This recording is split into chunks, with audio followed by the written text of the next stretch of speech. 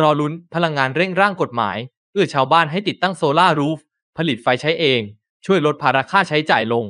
หนึ่งในสิบนโยบายเร่งด่วนที่นายกรัฐมนตรี แพทองทานชินวัตรจะเร่งทำทันทีเพื่อแก้ปัญหาประเทศนั้น คือการลดราคาพลังงาน และสาธารณูปโภคด้วยการปรับโครงสร้างราคาพลังงาน และเร่งปรับปรุงกฎหมายระเบียบที่เกี่ยวข้อง เช่นทำสัญญาซื้อขายพลังงานโดยตรง พัฒนาระบบสำรองน้ำมันเชื้อเพลิงสำรวจหาแหล่งพลังงานเพิ่มเติม และเจรจาประเด็นพื้นที่ทับซ้อนกับกัมพูชา OCA เป็นต้น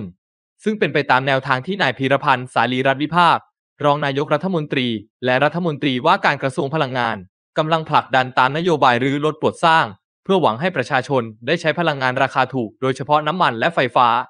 ขณะนี้อยู่ระหว่างการร่างกฎหมาย เพื่อกำกับดูแลให้การติดตั้งแผงโซลาร์เซลล์บนหลังคาบ้านโซลารูฟท็อป สำหรับอาคารบ้านเรือน และกิจการเพื่อผลิตไฟฟ้า ไว้ใช้เองไม่มีการขายส่วนเกินเข้าระบบ ซึ่งจะช่วยลดภาระค่าไฟฟ้าลง ไม่ต้องลุ้นทุกๆ 4 เดือน ค่าไฟฟ้ามีการเปลี่ยนแปลงจะแพงขึ้นอีกหรือไม่ รวมถึงยังช่วยลดความต้องการใช้ไฟฟ้าในภาพรวมลงทำให้ไม่ต้องสร้างโรงไฟฟ้าใหม่ และยังเป็นการส่งเสริมการใช้พลังงานสะอาด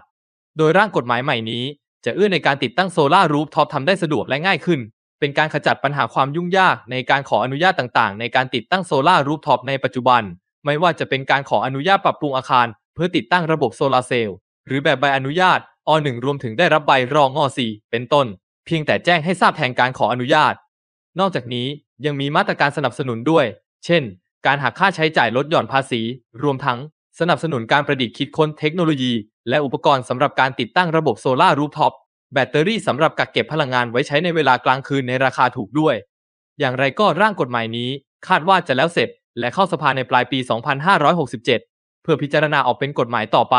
คงต้องลุ้นกันว่ากฎหมายดังกล่าว จะผ่านความเห็นชอบหรือไม่ เนื่องจากเป็นกฎหมายที่เกี่ยวข้องกับหน่วยงานสังกัดกระทรวงอื่น ๆ ด้วย